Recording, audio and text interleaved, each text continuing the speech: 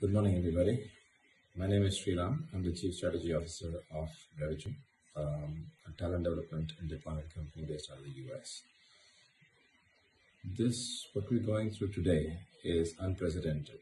Uh, something that uh, nobody foresaw, somebody nobody prepared for. Um, so there are two ways to look at this. One, you can look at this as a challenge or a difficulty, but uh, you can also look at it as an opportunity. Uh, what I see a lot of um, coming forward to make their courseware free. A lot of training companies coming forward to make training free.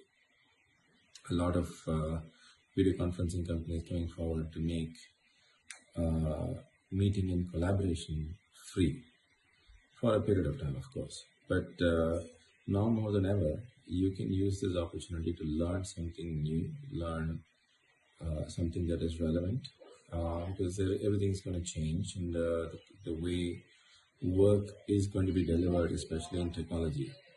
Uh, people have figured out that it can be done remotely. You don't necessarily need to be inside an office to get to do it. So this is the best opportunity to figure out how to do agile projects remotely.